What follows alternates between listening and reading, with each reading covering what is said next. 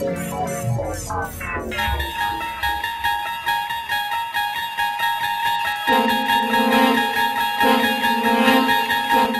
so this is probably the least effort I'm putting in a video ever. My backup channel, which was supposed to be the safe channel, today had a strike. the overlords at YouTube decided, ah, oh, we're gonna kill that channel. Now here's the ridiculous thing.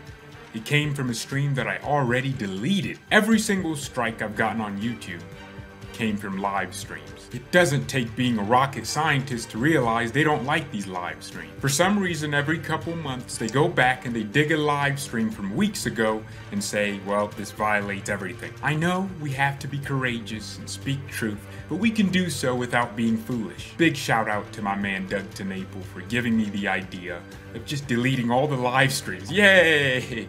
My hard work all gone. Well, actually, it's on Odysee. All the live streams will be backed up on Odysee. They always have been. There's all my live streams on there. But here's the crazier thing. That's the second strike on the second channel, right? But here's the crazy thing. Today I got the second strike there. Guess the day the first strike would have expired. Today. Today.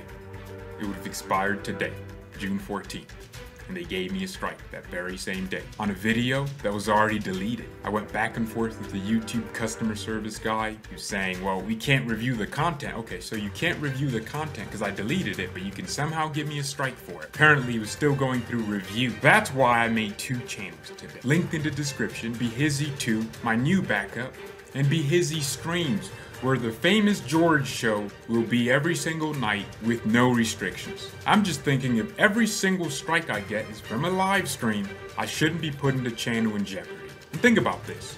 Who watches live streams after they're done? And it'd be stupid for me to know that and just put all the live streams up, knowing they could go back a month ago and just find something and say, well, you said this and we're gonna take it down and, and, then you got another strike and then you gotta sit there and think, what if I did delete those live streams? It probably means more videos on this channel to make up for the live streams because the live stream is where I could just say everything. So please just download. So please just subscribe to the two channels below. And yeah, thank you,